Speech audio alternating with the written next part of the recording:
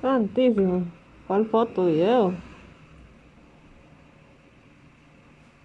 Este martes el Ministerio de Justicia conoció dos resoluciones de la Sala Constitucional en las que se respaldan las acciones efectuadas por la fuerza pública en los bloqueos.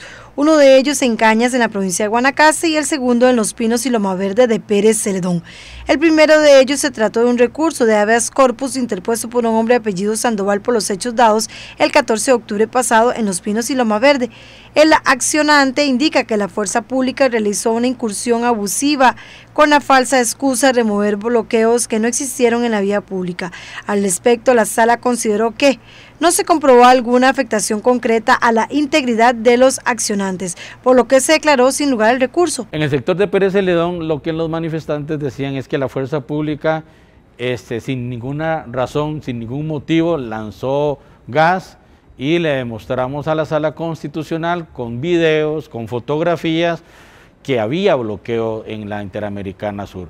En esa ruta se hizo las advertencias del caso y curioso, en este sector cuando se estaban haciendo las advertencias hubo un lanzamiento de piedras donde la fuerza pública más bien ya tuvo que intervenir, no solo para abrir las vías nacionales, sino también para este, repeler la agresión que estaban recibiendo por parte de los manifestantes. Esa intervención policial fue el 14 de octubre de este año.